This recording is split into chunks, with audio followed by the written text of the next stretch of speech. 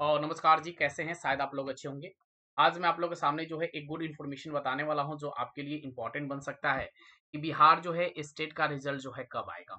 ये बड़ी सवाल जो है, सभी बच्चे के मन से उठ रहा है कि सर स्टेट का रिज़ल्ट जो है कब आएगा? क्या दिक्कत है कि रिज़ल्ट जो है नहीं आ रहा है?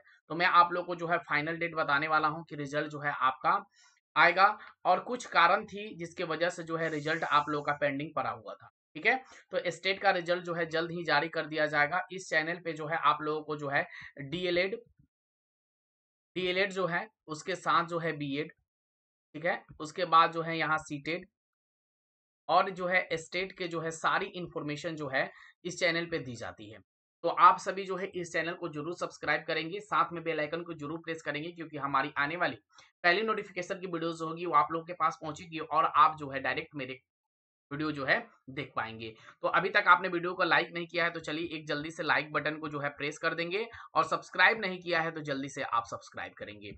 उसके बाद जो है मैं सारी इंफॉर्मेशन जो है बताने वाला हूँ कि रिज़ल्ट जो है आपका कब घोषित किया जाएगा क्या कारण है जिसके वजह से जो है रिज़ल्ट नहीं आ रहा है तो आप लोग के सामने जो है एक पटना से न्यूज़ आ रही है पेपर कटिंग के माध्यम से कि आपका रिज़ल्ट किस कारण से नहीं आ रहा है लगभग जो है तीन महीना जो है बीत चुका है लेकिन जो है पाँच लाख बच्चे अभी तक जो है इंतज़ार कर रहे हैं तो पाँच लाख बच्चे क्यों इंतज़ार कर रहे हैं कि रिज़ल्ट नहीं आया है क्या कारण है कि जिसके वजह से जो है रिज़ल्ट नहीं आ रहा है ये बड़ी सवाल जो है हमारे मन में जो है उत्पन्न हो रही है कि लगभग तीन महीने परीक्षा दिया हो गया और पाँच लाख बच्चे इंतज़ार कर रहे हैं। पाँच लाख न मान के मैं मानता हूँ कि छह लाख बच्चे जो है इंतज़ार कर रहे हैं।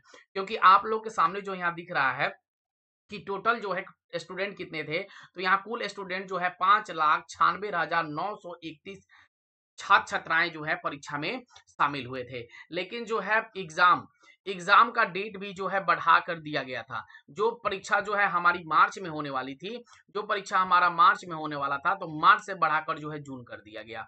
ये बड़ी सवाल जो है आप लोगों के मन में आया था कि मार्च से जो है जून में एग्ज़ाम हुआ, लेकिन जो है रिज़ल्ट देने की जहाँ बात हो रही थी, वहाँ जो है मई में रिज़ल्ट देने वाली थी, लेकिन हमारा एग्ज़ाम ही हुआ है क्या जून में? तो जून, जुलाई, अगस्त, सितंबर, यानी कि लगभग जो है तीन महीना बीत चुका।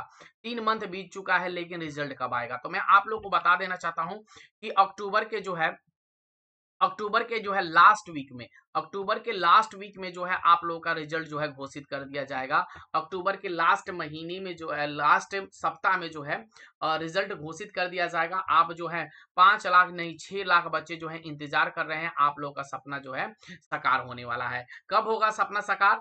तो अक्टूबर के लास्ट वीक याद रखेंगे। अक्टूबर के लास्ट वीक में जो है आप लोगों का जो है, क्या होगा? रिज़ल्ट घोषित कर दिया जाएगा। तो अब इंतज़ार की घड़ी जो है धीरे धीरे समाप्त हो रही है।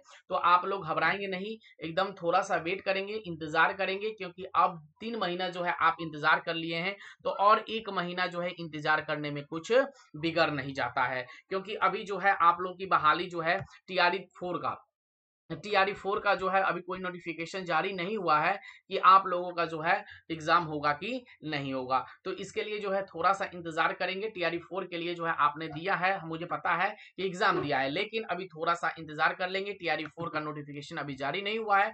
कब एग्ज़ाम होगा, उससे पहले जो है स्टेट का जो है आप लोगों का स्टेट का आप लोगों का जो है रिज़ल्ट घोषित कर दिया जाएगा। तो आप लोगों की छोटी सी इंफॉर्मेशन अच्छी लगी हो तो प्लीज़ वीडियो को लाइक शेयर और सब्सक्राइब ज़रूर करेंगे। Thank you so much.